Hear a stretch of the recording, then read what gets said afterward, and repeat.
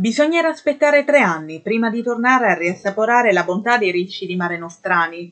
In questi anni, infatti, a nulla sono valsi i periodi di fermo biologico come si può osservare anche sul nostro fondale attraverso le esclusive immagini che ci sono state concesse dalla SD Poseidon Diving di Monopoli e che sono state raccolte durante le loro immersioni, il massiccio consumo di questi esemplari ha fatto sì che questa specie sia diventata a rischio estinzione nei mari pugliesi, tant'è che il 28 marzo 2023 il Consiglio regionale della Puglia ha dovuto adottare misure di salvaguardia per la tutela del riccio di mare, approvando una proposta di legge allo scopo di favorire il ripopolamento del riccio di mare nei mari regionali, garantendo un periodo di riposo della specie, preservando la risorsa ittica e scongiurando il rischio di estinzione dovuto ai massicci prelievi.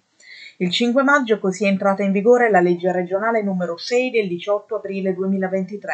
con cui è vietato il prelievo, la raccolta, la detenzione, il trasporto, lo sbarco e la commercializzazione degli esemplari di riccio di mare e dei relativi prodotti derivati freschi per un periodo di tre anni. La commercializzazione del riccio di mare non è vietata per gli esemplari provenienti con certificazione e tracciabilità secondo legge da mari territorialmente non appartenenti alla regione Puglia. Saranno i nostri pescatori, custodi del nostro mare, ad aggiornarci sul ripopolamento di questa specie, sperando che gli amanti dei ricci di mare possano presto tornarne a gustare la polpa.